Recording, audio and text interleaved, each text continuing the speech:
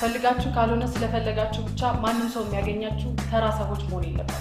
ሴት ልጅ ማለት ምን ማለት እንደሆነች ለዓለም ማሳየት አለባችሁ።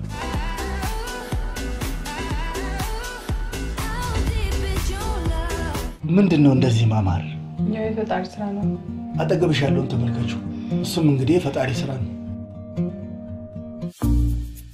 አርባ ሁለት አርባ ጡት ሁለት ጡት እኮ ነው ያላት። አብረኝ ማደር ፈልገሃል፣ አትዋሽ። ከሴት ልጅ ጋር ተኝቼ አላውቅም። እኔ ሴት አጡ አልኩ። ሚስትን የጠየቁት ወንድ ታገባለህ? ሚስት እንድትሆን ተወስኖባት የተፈጠረች ብቸኛ ሴት ሔዋን ብቻ ናት።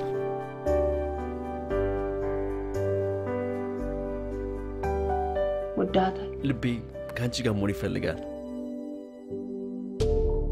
ወዴት ነው አድርገህ ይዛት የምትሄደው? ዘንቢል አረካት እንዴ? በሁለታችን ምክንያት ሌላ ሰው መጎዳት ማውራት የምችል ድንጋይ መስለህ ነው የምትታየኝ።